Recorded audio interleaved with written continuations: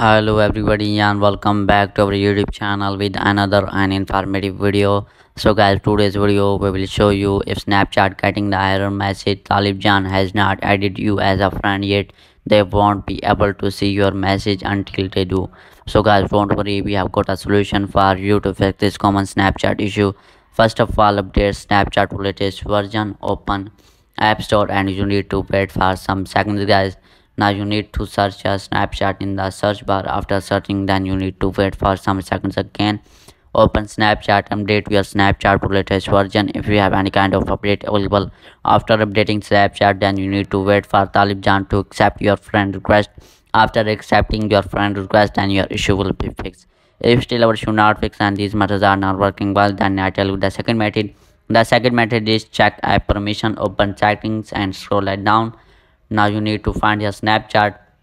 Now you need to tap on snapchat and make sure contact bluetooth microphone camera background app refresh mobile data is turned on. If it is turned off so you need to turn it on. Now type on notification and turn on allow notification. If it is turned off so you need to turn it on. After turning on then you need to tap on photos and you need to select all photos. After selecting then then then you need to check our issue will be fixed or not if delivered should not fix and these methods are not working well then i tell you the second method.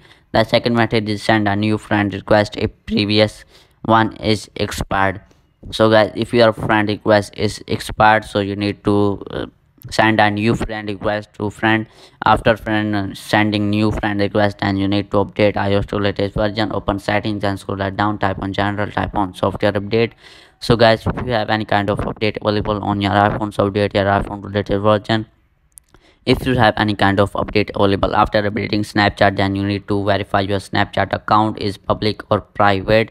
If your snapchat account is not public or private so you need to public your snapchat account. After public your snapchat account then you need to clear cache and data of snapchat. Open settings again and go back type on iphone storage. Now you need to wait for some seconds and scroll it down and find the snapchat guys. After finding snapchat then you need to open the snapchat simply open snapchat now you need to upload the snapchat then reinstalling. After uploading and reinstalling the snapchat then your issue will be fixed as early as soon. So guys this is an informative video. Hopefully subscribe our youtube channel for more tech tips and tricks to help resolve common issues with your devices and services